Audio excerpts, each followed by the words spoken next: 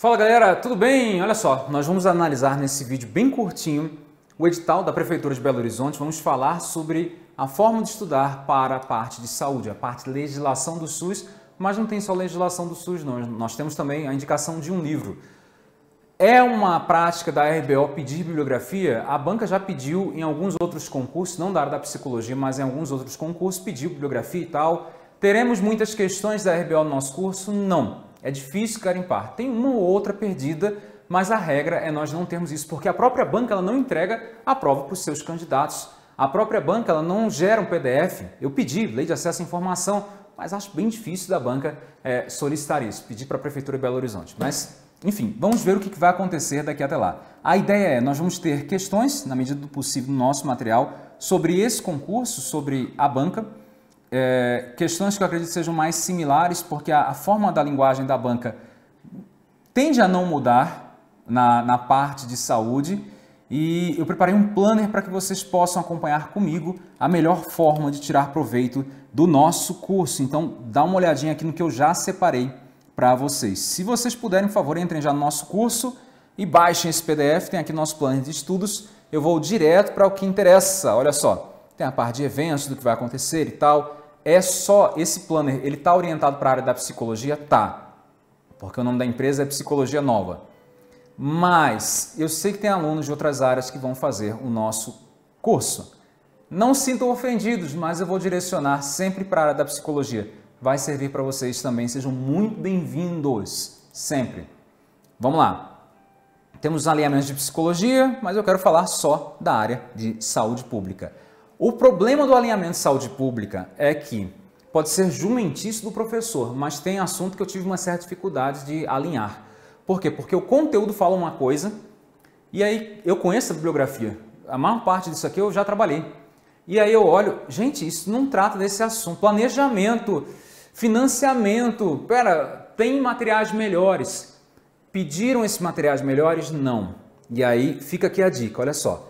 A banca, ela fala que são sugestões. Você pode estudar ou não. Pode ser que eu cobre outro material. Implicitamente está escrito. Pode ser que eu cobre outro material. Na medida do possível, eu vou dar a conceituação geral do conteúdo. Isso vai acontecer não só no curso de, de, de saúde, mas no de psicologia também. Então, vou dar a conceituação geral do que é o tópico e aí eu entro na bibliografia pedida. Perfeito? Pessoalmente, claro, eu estou assumindo esse risco com vocês. Não acredito que eles extrapolem o conteúdo. Extrapolem, aliás, a bibliografia indicada. Mas em alguns assuntos eu vou precisar complementar, porque a bibliografia é cebosa de ruim. Então vocês vão ficar doidos. Professor, isso não tem a ver. Eu sei. Professor, não está alinhado. Eu sei. Professor, esse material é ruim. No nosso, não. O que está sendo pedido. Tem material podre aqui. Podre, mas tudo bem. É a regra do jogo. Eu não quero que você abra a prova e tenha algum tipo de susto por conta disso. Eu quero que você vença. Maravilha, até porque você está vestindo essa camisa do Psicologia Nova agora. Então, no item 1, eu separei essas três bibliografias. Vocês estão vendo? Legislação, legislação, legislação. Aliás, o item 8 não. O item 8 vai trabalhar com a Política Nacional uh, de Humanização, vai trabalhar com Humaniza SUS foi o melhor lugar que eu encontrei para colocar essa referência, porque nos outros não encaixa, certo? Então, assim, é, tem conteúdo aqui que se você coloca na internet, você encontra uh, apostilas de outras empresas antigas e tal, material meu antigo, quando eu trabalhava numa outra encarnação, em outro lugar. Você encontra. Recomendo que estude. Ah, tá de graça, vou estudar. Material desatualizado, não adianta. Material desatualizado, não adianta. Certo? Então, ah, 80-80, tem que estar atualizado. É, item 2, organização do serviço de saúde pública e em Belo Horizonte. Tudo que for de Belo, for de Belo Horizonte eu vou rebolar nesse tópico 2. É uma parte tranquila, mas eu quero que vocês prestem atenção nesse item 11 que eu já coloquei aqui. Ó. As redes de atenção à saúde de Belo Horizonte. Vou falar sobre ele daqui a pouquinho. Vocês vão ficar doidos que nem eu. Rede de atenção à saúde, rede básica, não sei. Enfim, o resto é tudo, tudo, tudo bibliografia. Tudo, tudo legislação. Tudo material de graça na internet. Tudo todo, praticamente, tirando esse livro, As Redes de Atenção à Saúde. Certo? Olha só. Item 9. Endemias e epidemias, situação atual, medida de controle e tratamento. Eu acho que o examinador ele esqueceu de colocar um tópico para isso, uma referência bibliográfica.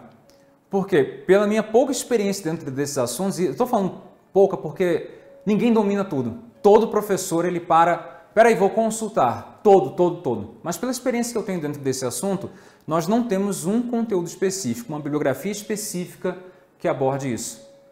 Vou abordar? Obviamente que eu vou. Por quê? Porque eu não quero correr nenhum risco com vocês. Eu quero que ao final o aluno chegue e diga: Alisson, estou estudando, está dando certo. Compartilhe, aproveite nas redes sociais sempre. Está dando certo, funcionou, estou saindo muito melhor. A prova foi muito boa, consegui ter um bom resultado. Tô... Eu quero que você saia muito melhor do que você entrou dentro do nosso curso. É isso. Então, assim, em alguns assuntos nós vamos ter complementar, claro, nada vai passar desse nosso grande peneirão. Voltando para cá, ó, esse item 9 vai ser complicado. Se você tiver alguma sugestão de conteúdo para ficar nesse lugar Dentre as bibliografias indicadas, avise, por favor, o professor erra. E aí temos o controle de estudos de saúde pública.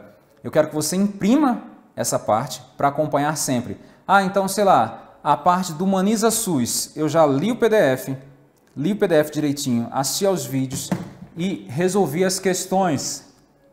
Resolvi as questões, maravilha. Deu certo, deu certo. Então você passa adiante e você continua anotando. Por quê? Porque isso aqui vai ser o seu controle, gente. É uma riqueza enorme. E aí, abaixo, vocês já vão encontrar uma parada muito interessante que eu desenvolvi para vocês, que é o seguinte, olha, vocês vão colocar a marcação dos estudos de vocês. Nessa marcação, vocês vão conseguir distinguir o que está sendo feito, o que, não está, o que, que eu estou dando mais ênfase, o que, que eu estou demorando. Então, por exemplo, lá no dia 11, vamos imaginar que eu tenho estudado a parte da Constituição Federal. É o item 1. Acompanha aqui comigo, item 1. Anotei, estou lá na Constituição Federal. Item 1, dia 5 de janeiro, dia, perdão, dia 11 de janeiro, item 1. Dia 12 de janeiro, item 1. Dia 13 de janeiro, item 1. Item 1. Caramba, estou demorando muito tempo. Eu não estou vencendo o conteúdo. É hora de reformular, de pensar o que está acontecendo, porque não é normal. Você passa cinco dias num assunto que dá para esgotar, sei lá, em dois ou três, não é normal, certo? Então, assim, é, isso daqui vai servir para vocês anotarem. Dia 27 de março, tá aqui.